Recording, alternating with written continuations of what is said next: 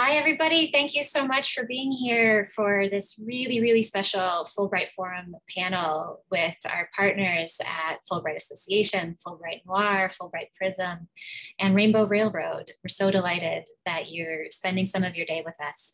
Um, I wanted to start this presentation off with a, an announcement and, uh, and uh, you know, share that we're disappointed to announce that BeBe Zahara Benet unfortunately will not be joining us this morning.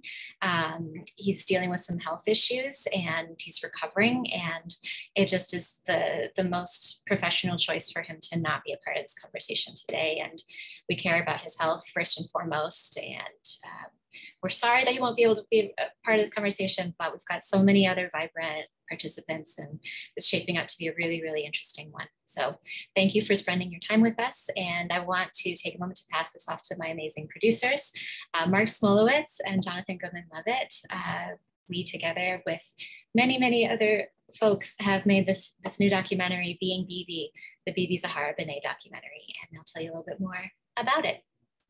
Well, thank you, Emily. And thank you to Fulbright. Uh, thank you to John and Munir and Alicia and Christine and everybody with the organization for inviting us to be with you today. Uh, Emily already thanked, but I'll thank again our wonderful partners for the event, Fulbright Prism, Fulbright Noir, and Rainbow Railroad, who are really excited, are all here uh, with us today with representatives to discuss the topic of this very special Fulbright Forum. Uh, I'm Jonathan Goodman Levitt, and I'm a producer of the film, as Emily mentioned, and a Fulbrighter representing Greater New York. I'm on the board there, where we use film regularly through the Fulbright Film Series, which before the pandemic was a regular series at Alamo Drafthouse and is now more of a virtual uh, and outdoor offering uh, to um, promote dialogue and exchange. And that's something we've done uh, for many years. And we did with uh, this film being BeBe when we uh, hosted a, a, reception with BeBe in New York, which was extremely successful and exciting um, when the film premiered here in New York at Newfest. Um, from the first moment I heard about this film in 2009 uh, from Emily, amazing to think that that's uh, 13 years ago or so now um, it, it, really beautifully aligned and obviously beautifully aligned with the Fulbright spirit and how readily apparent that was from the first moments I heard about it. Uh, BeBe's own father uh, is a uh, Fulbrighter, was a Fulbrighter from Cameroon uh, a long, long time ago, in I think uh, the 80s. Um, but uh, Emily can specify that when she speaks later. Um, but um, you know, even at that level, uh, there was a connection to Fulbright. Um, the film is really having a bit of a moment right now. We're really excited to say uh, maybe uh, somebody working with us can put the New York Times critics pick uh, link uh, in the 1986. Uh, Emily says in the chat. put that in the in the chat. Uh, we, we're really honored um, to be kicking off our educational distribution here with you. And um, my fellow producer, Mark Smolowitz, is going to tell you a little bit more about offerings for the film educationally and how you can also see the film uh, if you're a consumer not in education. Mark? Thank you so much, Jonathan. Good morning, everyone. I'm Mark Smolowitz, one of the proud producers of Being BeBe. I'm based in San Francisco, so good morning from the West Coast.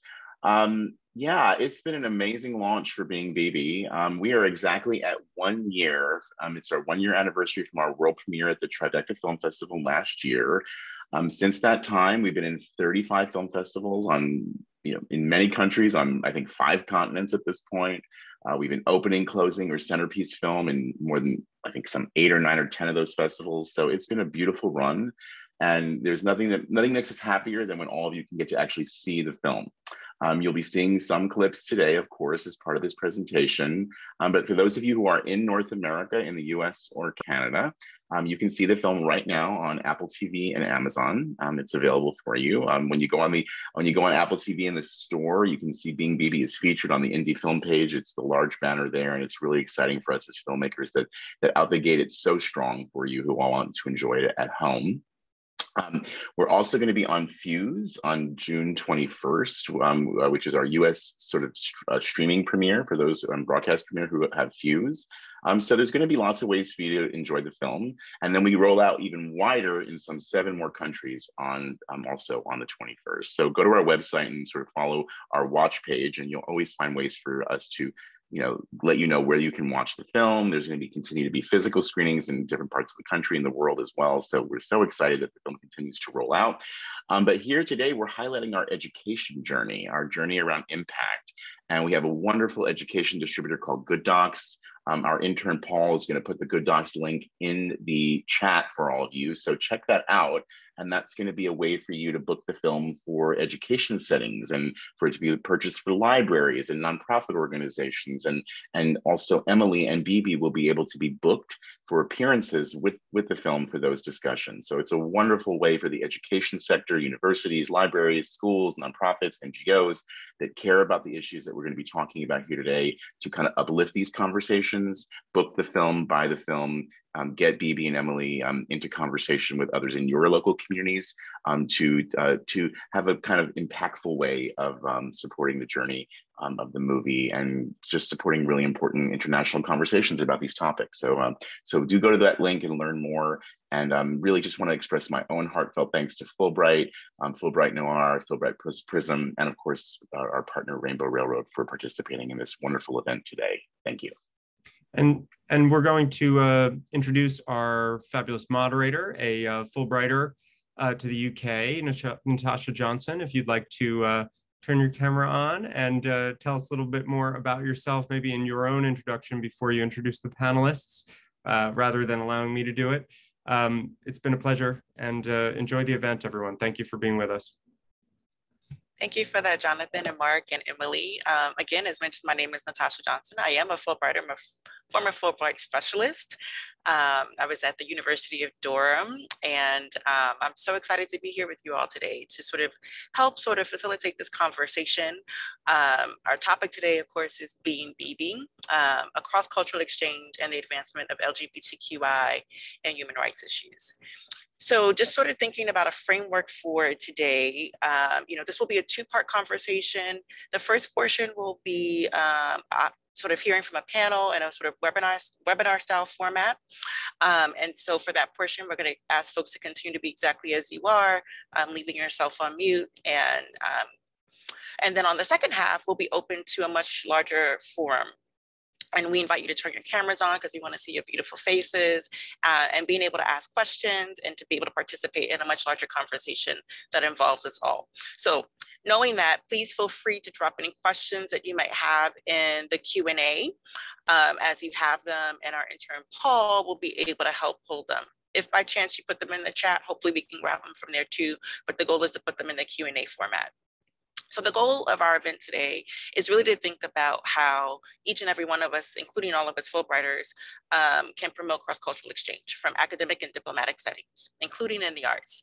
So today we want to explore the varied and important ways that cross-cultural exchange co contributes to the advancement of LGBTQIA and human rights issues, um, and thinking about how we share information, stories, and generate from those thoughts around what each of us and can and should be doing further in our various spheres to empower ourselves each other, and hopefully to overcome obstacles to inequalities and multiple air in multiple arenas all at one time. So a little bit about the film. Um, so at the start, uh, I think Mark has sort of set the framework that this is a wide release. This is a documentary that follows 15 years of the life of BeBe Zahara Benet um, and life and career. Uh, many folks will probably know that BeBe was the first winner of RuPaul's Drag Race, um, and I will not try to even say Cameroon the way that RuPaul does, but I'm sure you all hear it in your heads, and that's good enough for me.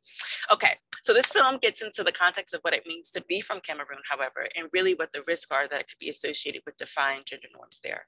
So we'd like to start with a clip um, and hopefully we'll have a few more clips throughout uh, our conversation today. So bear with us if there's any technical difficulties, even though we checked, so everything should be working just fine. Um, so we're going to start with our first clip, and Mini, if you can have that geared up for us. And in this first clip from early on in the film, where we get to meet some of the activists on the ground in Cameroon.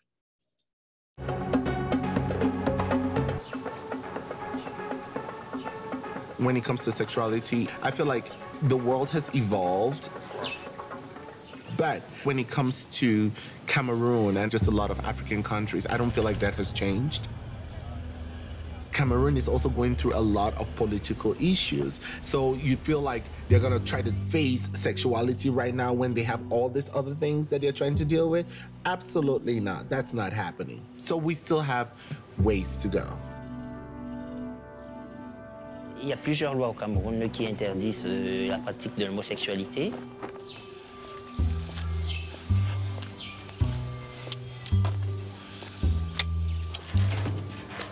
Les homosexuels vivent les, risques au quotidien. Ils sont stigmatisés aussi bien à la maison, à l'école, au lieu de service. Ils sont rejetés parfois de leur école, à l'hôpital. On leur refuse l'accès aux soins du simple fait que c'est un homosexuel ou parce qu'il est efféminé. En fait, le problème ici, c'est la perception qu'on a de l'homosexuel. Alors tout le monde qui a des comportements qui s'apparentent à ce que la, société voit comme l'homosexuel, c'est même très dangereux. Il y a une traque permanente au Cameroun. Il y a un cas de, qui était célèbre ici à Yaoundé, simplement parce que les gars buvaient euh, le baileys, que les policiers qui étaient là considéraient comme une boisson de femme, parce, parce que c'est une boisson douce, parce que c'est une boisson écrémée. Euh, ils ont dû payer les frais, hein. ils ont été condamnés à 5 ans de prison. Ah, alors au bureau. Oui, bonne nuit, je suis lesbienne.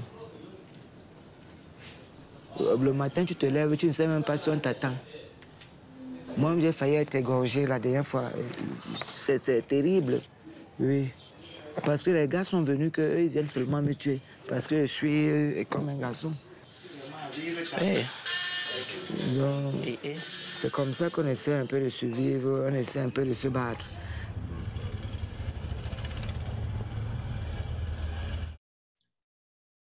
Welcome back off. Thank you for, um, I hope that people, that that clip really resonated with people. I know it resonated with me so much so that um, I'd love to sort of hear, if we can, from Kimahli, uh, the executive director at Rainbow Railroad.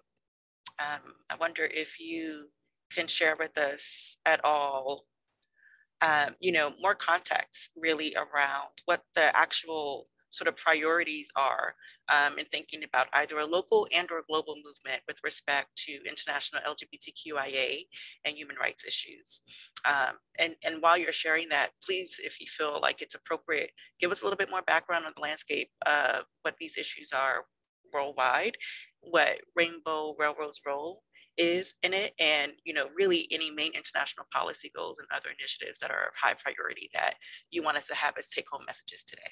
So thank you so much. We'd love to hear from you. Yeah thank you natasha. Thank you everyone. Um, uh, i think the you know it's uh, really happy to be here and talking about um, a lot of the powerful themes that came out of this film you know stepping back you know the the challenge uh, in the wider landscape is uh, in 70 countries around the world, same sex intimacy is still criminalized.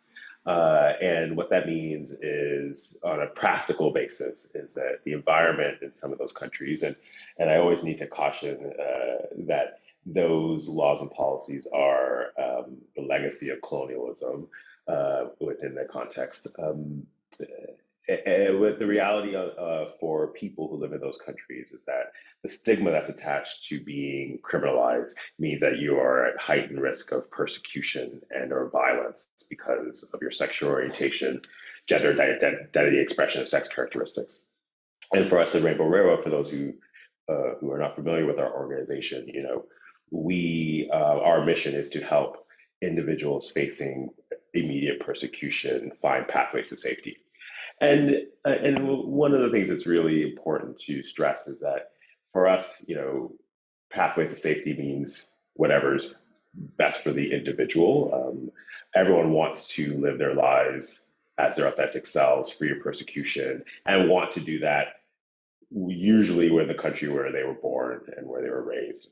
Um, but in the context, sometimes uh, when you're criminalized um, or you're outed, Um, and you've you know, the context that we're familiar with in North America are also apply in these countries where you, you know, may get kicked out of your home or you may get um, ostracized from communities, then target of repeat violence. And it's the it's the being targeted of repeat violence and or criminalization from police, which usually leads people to flee. Uh, so that's kind of the con- the broader context um, uh, by which Rainbow Railroad provides um, support for people at risk, um, and, and, how we try to help people every day. One thing I'll say about the film in particular, you know, we're currently doing dealing with cases, a, a particular sensitive case of individuals who are from Chad, um, and uh, in the context of being targeted by the government in Chad, are fleeing to Cameroon uh, and another country that also uh, criminalizes same-sex intimacy.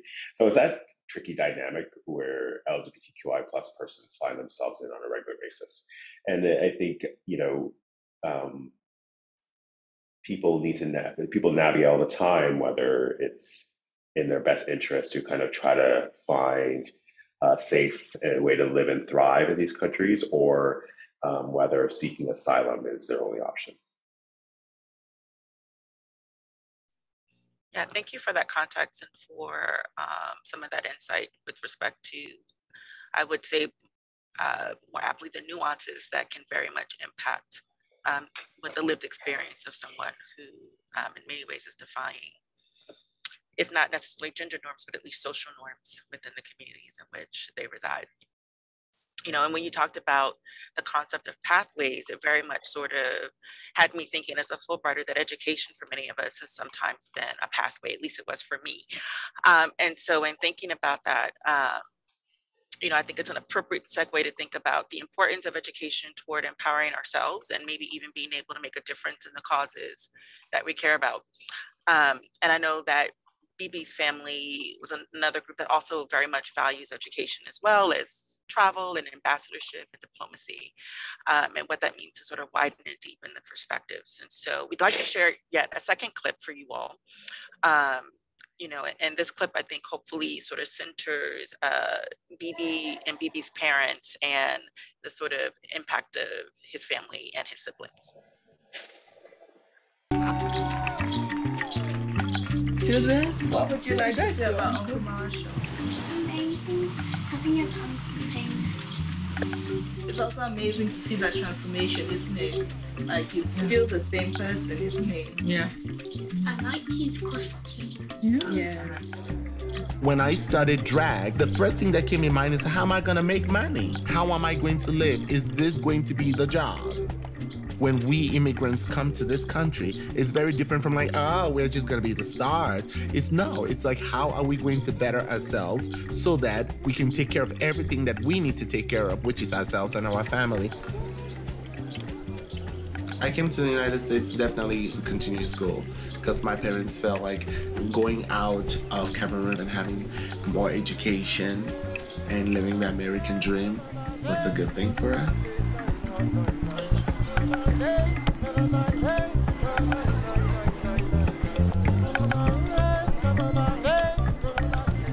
You know, my parents, they are very motivated individuals.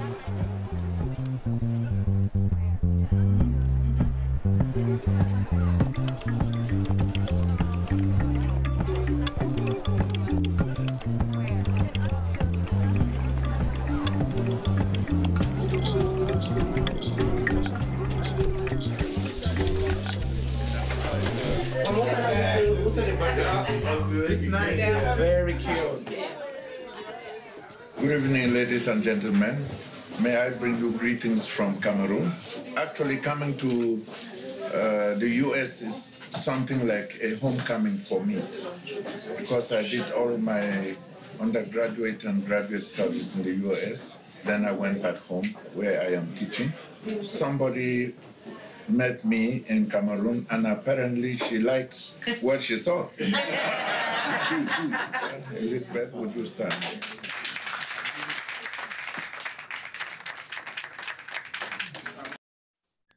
Welcome back, everyone. I know you wanted us to keep going with that clip, right? you have to wait and see the actual film. As Mark said, you can get it on um, Apple TV right now.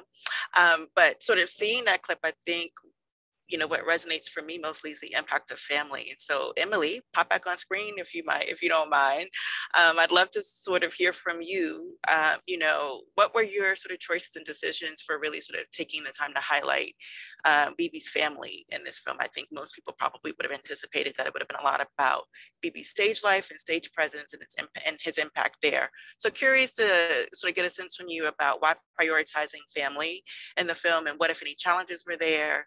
And you know how did you sort of think about developing this concept of you know of family acceptance um, as a narrative that would be an important theme yeah, I mean, it stuck out from it stuck out to me early on, actually, as one of the things that Baby and I bonded over was we both um, were actually really close to our nuclear families and found a lot of support and love from them. You know, as a filmmaker, you're always looking for like, okay, you have to put together a story that shows some conflict, that shows some change over time. You know, like, is there some kind of trauma? Is there some kind of you know history of struggle um, in different arenas of a person's life that you know you can drape a film around. And you know, we've seen a lot of stories where it is the case that that lack of family acceptance is a really formative um, issue in somebody's life. And that simply was not the case with BeBe. And the more I learned about Cameroon, the more I was actually really impressed by them and their their acceptance of, of Marshall as a whole person, including this unconventional career.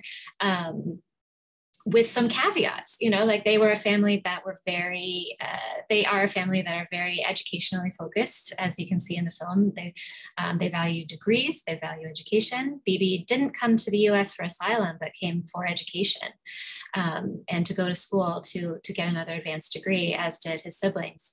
And um, so when he discovered drag it was a big shift and something that he had to write a long letter to his family about to sort of say bear with me on this. It's what I'm feeling pulled to do. And I wouldn't say, I always would say the family conditionally accepted that in a way that like, um, they were just, it was out of concern. They wanted him to be successful, to be safe, to be able to take care of himself and to be able to support the rest of the family, which is the value of their, of their family uh, dynamic. And um, so he, he proved that he could and in his own way and their journey towards learning more about drag as an art form, learning more about the community that surrounded BeBe and, and that loved and supported him in Minneapolis and in the drag community. It, I, I saw them all kind of grow in different ways and they um, were very generous in, in speaking with me about it over the years. And I was really, really grateful for that. Um, and it took time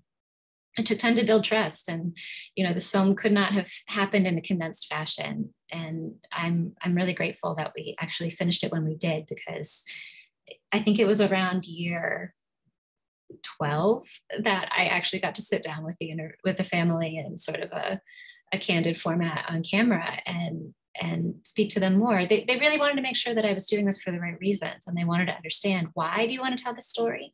Because it is it is a big deal to put your story out there and uh, it's a huge responsibility that I took very seriously as well. Um, but I really wanted to honor the, the model of family acceptance that I feel his family really demonstrates in this film really beautifully. It is loving, it is um, supportive, and it is protective.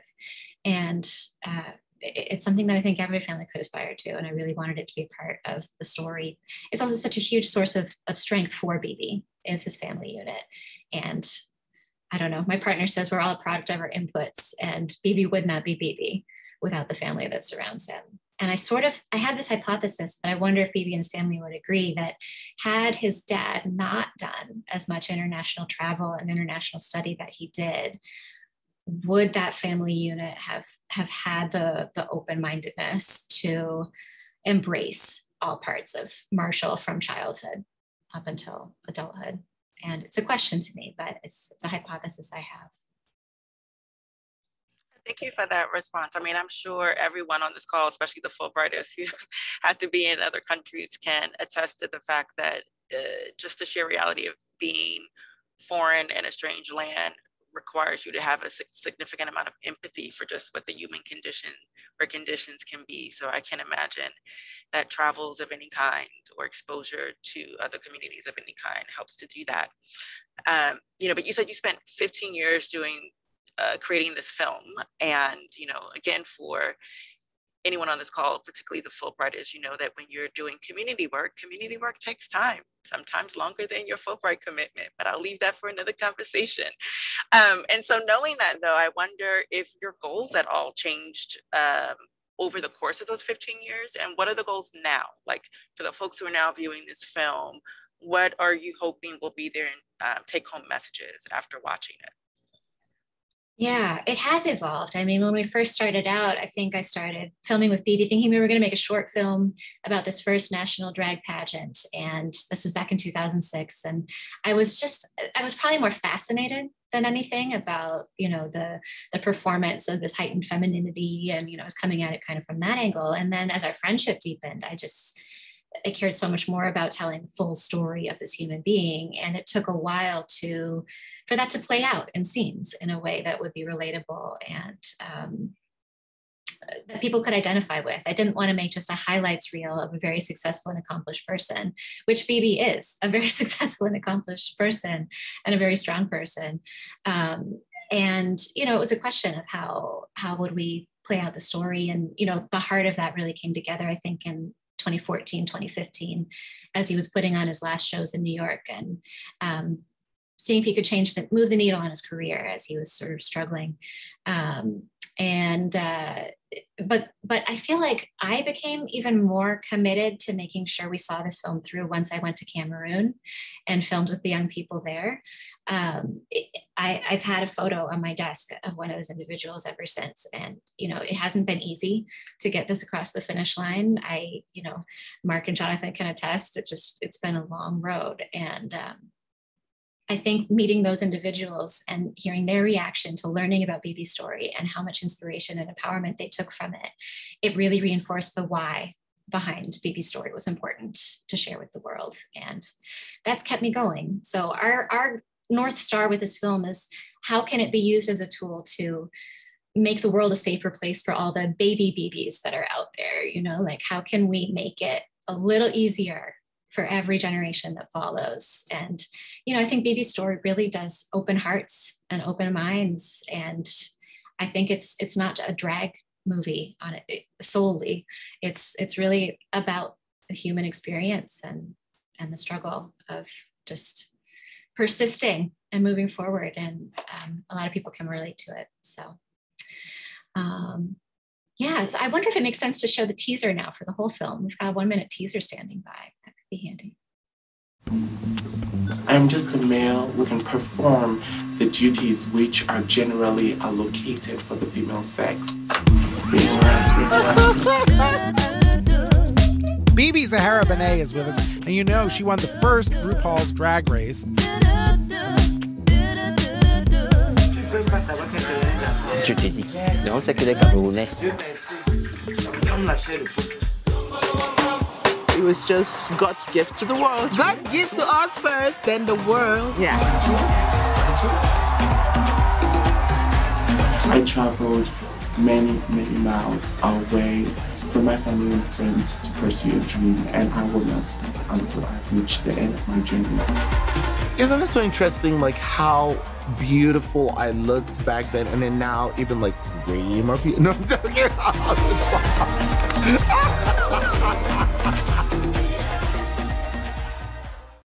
I just love my friends laugh.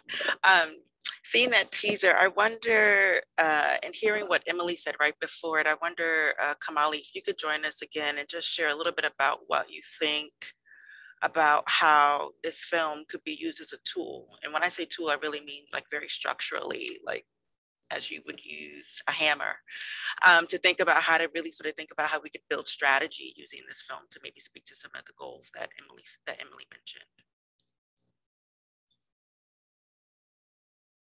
I think you're still on mute.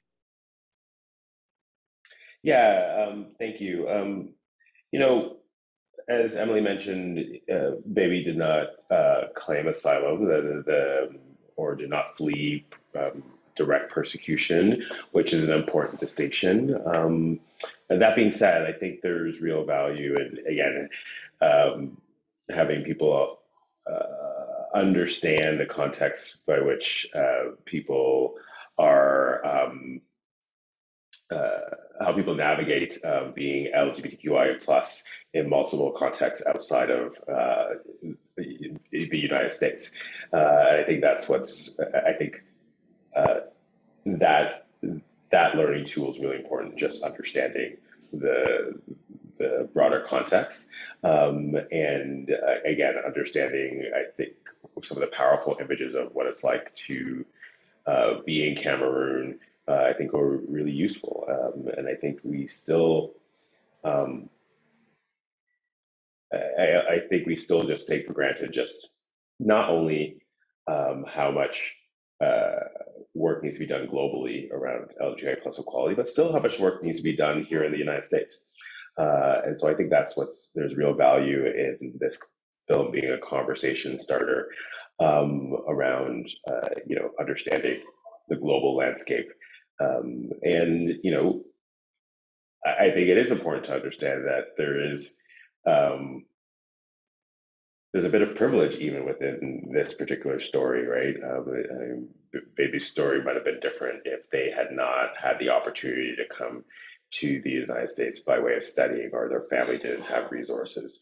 Um, one of the things that's really um, consistent in the people that request for help is um, that they usually are not. Uh, again, they, they usually are not tra- um, with their families. They're usually displaced by their families. And I think there's actually, I think that's also the other thing about the film is that it should be celebrated for um, seeing the context of individuals who are LGBTQ plus who are who have been able to maintain connections with their family um, when they during the migration process because it's it's actually not as common for many LGBTQ plus persons that we help. Yeah, thank you for that, Kimahli. And you know, my hope is that even in our broader discussion, which is about to happen now, the time has come, community. for you to join us all in conversation um, and really start to maybe share some other tools that might be of resource that either you've already used or working models that you've seen in other environments, just to sort of build up what Kimahli offered. But, you know, we are going to switch formats as promised. Um, and so we're going to move from our webinar format to an open forum format. That's a time where all of you as participants, and I think Alicia is helping us with that. Is that right? Because um, I have yes. no buttons on this side. Okay, awesome. So thank you so much. Um, and so that's the time where all of you will also be able to come um, to come on camera. And then hopefully to be able to open up, we'll have uh, some more guided questions that I think will help uh, start us off from um, some of our other panelists um, that are from our larger Fulbright community.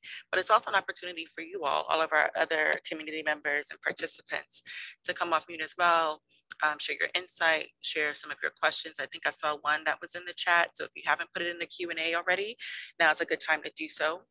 Um, and really want to hear what your voices and your feedback and your insight might be sort of uh, as we've already started this conversation, right? And help us close it out. Um, so while you all are starting to join us, ooh, I'd love to see all of these photos. Now, if I could start to see some faces, that would be great, but no pressure.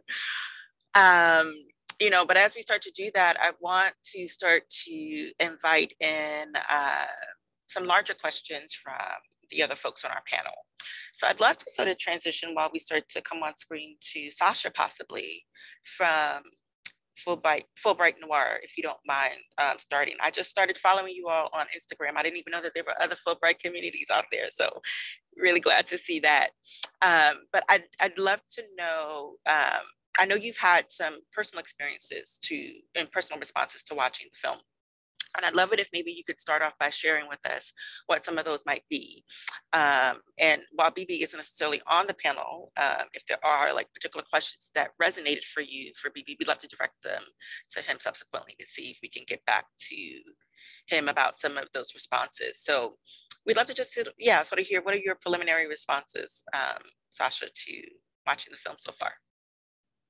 Oh, hi, Natasha. Thank you uh, for moderating, and I'm really glad to be here. Um, yeah, so I resonated with the film a lot personally, um, just as a queer person of color, there were a lot of things that I saw in BeBe's experiences that I also went through. Um, not necessarily um, coming from an immigrant background, but I do, I'm third generation. So there are a lot of like cultural aspects and even um, religious aspects, familial aspects that I personally related to. Um, and I think that one thing that I specifically wanted to ask BeBe was especially about how uh, I noticed like RuPaul, everyone knows like yelling like Cameroon, Cameroon, like how that felt for BeBe, like if that was a positive thing or um, if that was kind of like only being singled out but because they were like saying where they were from. Um, because I know that, for example, sometimes I don't want that to only be my only aspect of my identity, like where I'm from or uh, my queerness or anything of that nature. So I wonder how that felt for them. Um, but there were things that I know I also talked to um, Tyler, my colleague in Fulbright Noir, about was um, there was part of the film where BeBe mentions um, being the star and always feeling like that was what made BeBe stand out and, and kind of look away from uh, their queerness. And so um, I was curious because I know I talked to Tyler about that, and we said that we felt that as well, having to kind of like, um, as being Fulbrighters, as being scholars, that being the star kind of uh, was part of our identities. And I was wondering how that felt for other Fulbrighters on this panel or other people who, you know, may have gone to university or had that same educational background, how that felt for other people, um, or if that was something that we, can, Tyler and I just talked about. I mean, those are really good questions. I thank you for framing them that way. You know, I think the, the I, I wonder, I think I'm curious as well about, you know, your question around the, the calling of Cameroon. Um, you know, I, I don't know how others felt when they heard it, but for me, it wasn't jarring. I also, I always thought it sounded more like a battle cry than anything else. Um, but that's just my perception. We'll have to check in with BeBe and see what, and see what they say um, you know, and I think that, you know, I'd love to hear from other Fulbright stars out there because I've just given you a new title. Thanks, Sasha. Right. But just thinking about what it means to be like in the limelight. What is that? And particularly what it means to be in the limelight when the stage is foreign. Um, oftentimes, and, and how do you navigate that? So, uh, for folks who think they have some insight there, um, we'd love to hear from you. But in the meantime, um, for interest of time, I want to make sure that we at least hear the voices of everybody on this panel at least once. Um, I'd love to also try to sort of bring Olivia into this conversation. I'm wondering, you know, what were your thoughts? What were any of your immediate thoughts um, with respect to uh, watching the film? Did you have any thoughts specifically around the idea of fear and what that means? I know for myself, I try to think about fear as an acronym now because that makes it less scary. Um, but I wonder what what any of your thoughts might have been um, as, after you've watched it. Yeah, thank you so much, Natasha, and, and thank you everyone for having me here. Um, I definitely resonated with the idea of um, the fear of vulnerability that BeBe brought up throughout the film, and I know, I mean, I've I've had moments in my life where I felt vulnerable, but nothing compared to coming out, you know, to my family and um, feeling that worry and that fear of um, going into the and, and having my Fulbright grant in Cote d'Ivoire in the continent of Africa. And, you know, as um, Kimahli was saying, like I, I went into my grant very intentional, knowing that there are many countries in the world, 70 countries right now, where same-sex um, activity is criminalized. And also knowing that I had sort of this, you know, a bit of grace as an American and knowing my positionality as a white woman. But um, I, you know, one of the things BeBe says throughout the film is, why should I be vulnerable if it'll be used against me? And this is something that resonated with me a lot. And as I was working with my co-teachers and, and having various individuals, I had even a co-teacher ask me to teach on the gay problem in America and um, sort of navigating around that. and, um, you know, knowing that I was in a in, a, in, an entirely different culture and sort of treading this fine line of respecting cult- these cultural norms, but also um, wanting to speak to my queer identity, but sort of biting my tongue in those moments where I felt like I couldn't. Um, and I know also BeBe's mantra throughout the film is, um, I know one of one of his good friends was saying, you know, I deserve it and I've got nothing to lose. And this is something that after watching this film, um, I think I'm going to keep in the back of my head. I'm going to have BB in the back of my head probably th- for the rest of my life. But um, this is why it's so important when we're thinking about the larger idea of how we as full Fulbrighters are positioned to um, you know, raise awareness for LGBTQI, the LGBTQI community all over the world.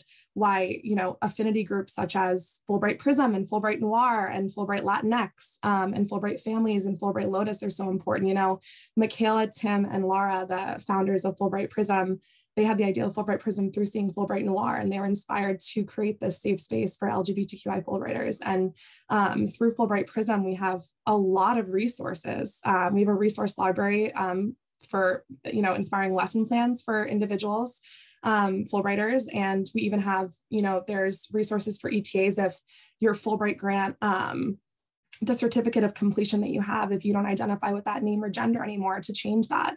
Um, and these resources and, and this, this space is created for and by Fulbrighters, queer Fulbrighters. And I didn't even know Fulbright Prism existed when I was going through my, um, my Fulbright grant.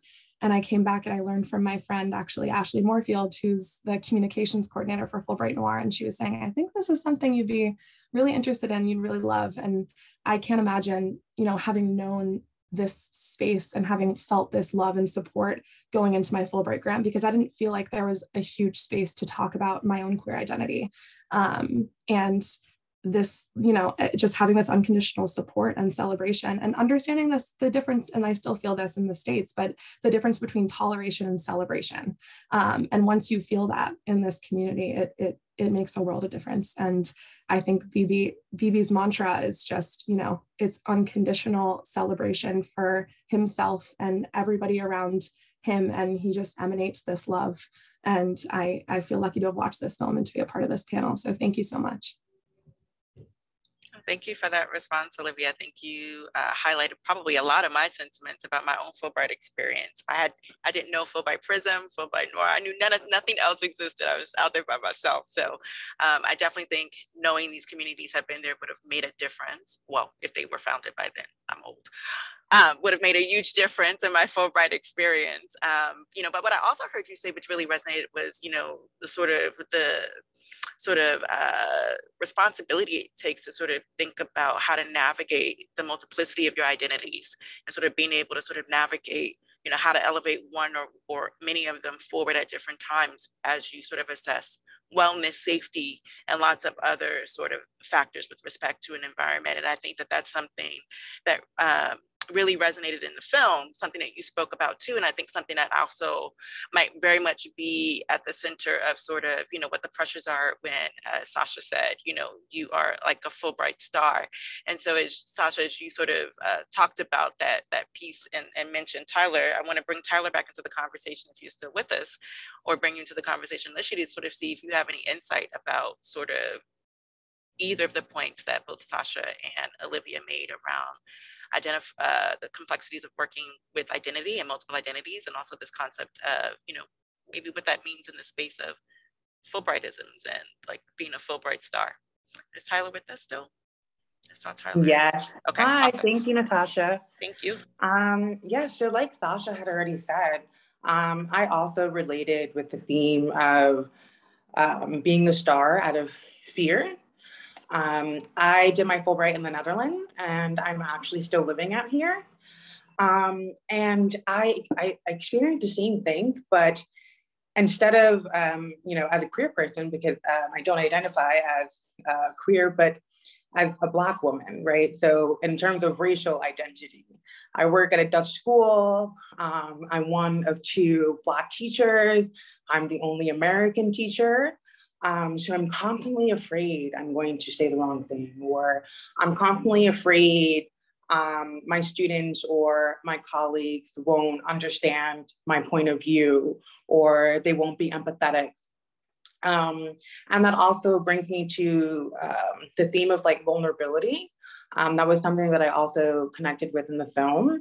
Um, BeBe's willingness well also like the resistance to it as well right? Um, because i think at one point it was mentioned that um, they have they really struggle with being vulnerable as i do.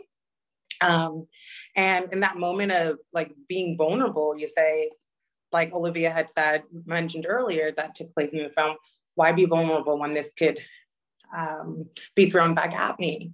And i've experienced that um, here. Um, but yeah, I guess then one of my questions for BeBe was, you know, what steps did they take um, to be more vulnerable and to not worry so much about what the outcome of that vulnerability would be? Yeah, thank you for that, Tyler. Um, you know, BeBe's not here to answer that question directly, but I think as I heard, as I listened to what you had to say, uh, I know I've had my own work around vulnerability. I think vulnerability is real work. Like it's like like you're in the gym pumping iron um, but like you know the pumps are coming from the heart as opposed to from the arm. And i think that you know at least for me on that journey to sort of get to a place of vulnerability i've just gotten so present to how strong one has to be in order to be able to be a stand for that and how they navigate all of their endeavors. Um, and for me what's been really been working is just getting present to the assurance and the faith that i'm always going to take care of myself regardless of the environment. And the more i can comfort myself with that reality because it's a truth the easier I can show up vulnerable in every environment, in every situation, because I know that whatever's going to be present, I'm always going to be able to take care of myself and my well being. So that's been really helpful in assuring. And I know that sounds a lot easier said than done because that takes actually a lot of work. But um, I do offer that um, in the absence of BeBe and what uh, and what his response might be. I do want to just uh, before we close, thank everybody for attending, thank everyone for participating, thanking everyone for even being just in what I hope is in very critical thinking about what your next steps might be once you get off of this call and how you might be able to sort of further the work of sort of elevating the rights of LGBTQIA and human rights um, in your own communities.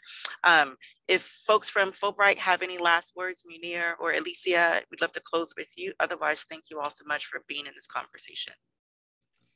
Thank, thank you so much um, to the entire panelists and for this amazing film. Um, Thank you to the, the film team for willing to have a forum. Um, uh, thanks to our donors and members who make all of our programming possible. And a recording will be sent via email to all of you who registered. Please feel free to send it on. Um, we're going to send it to our mailing list of about 50,000 Fulbright alumni uh, in June. So people will be able to see the recording of this event. But have a great day and thanks so much.